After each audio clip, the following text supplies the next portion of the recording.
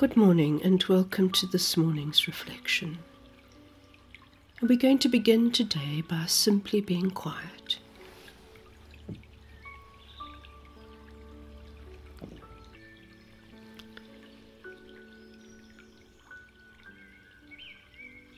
Notice the noises around you.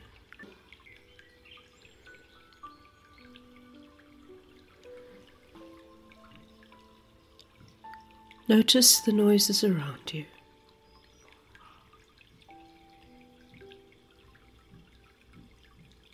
And just let them go.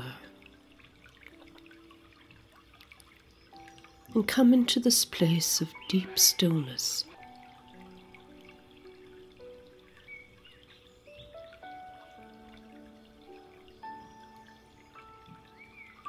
Come into this place where God is with you. And God waits. And God waits for you. God opens his arms to hold you and to love you. And this morning I'm going to read to you a letter, a letter written to you by your loving Father. And this letter is based in Scripture. Allow the words to speak to you. Allow the words that come from the Word of God to touch your heart. My beloved child, I see you are anxious. And you have lost some of your trust in me, and no longer really believe that I will care for you.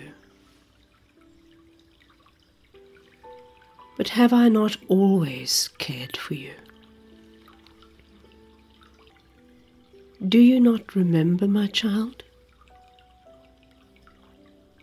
Do you not remember the times that I have walked with you? That I have stood beside you and that I have made the way straight for you.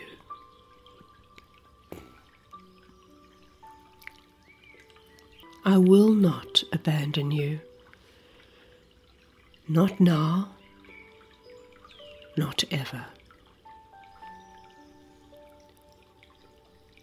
Do not listen to the world as it tries to tell you what your life should look like. For this will only distract you and make you discontent. Look to me.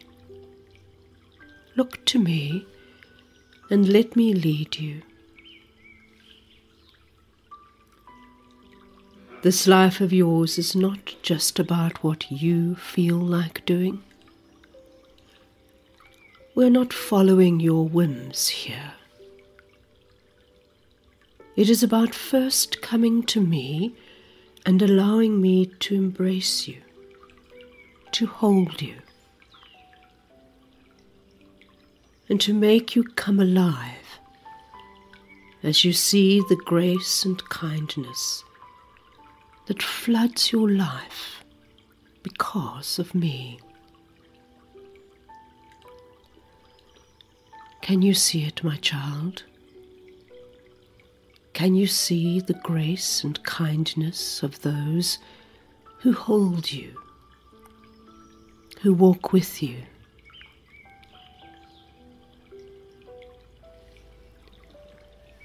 Trust me, my beloved one.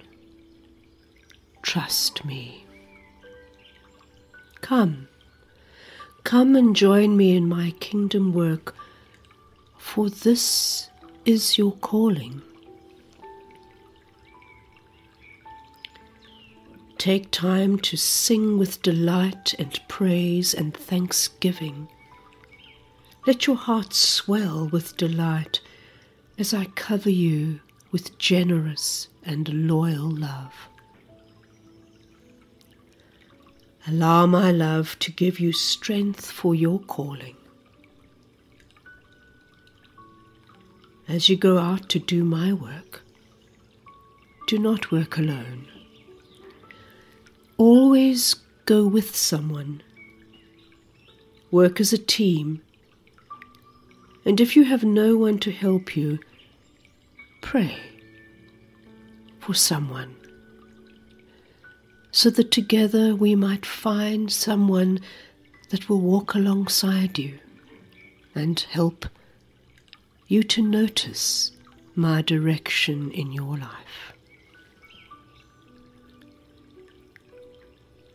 This work that you are called to do is not easy, but try not to wear yourself down with too much materially.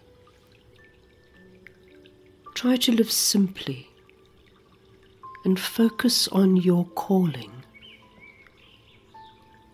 Be content with your life as it is and be grateful for all that you are blessed with. Your loving Father. And now for the rest of the prayer time, reflect on how you would respond to this letter if you were to write a reply. What might you say to your father in response? And it might be helpful if in your journal you wrote a letter of response. And so I will leave you to do that now.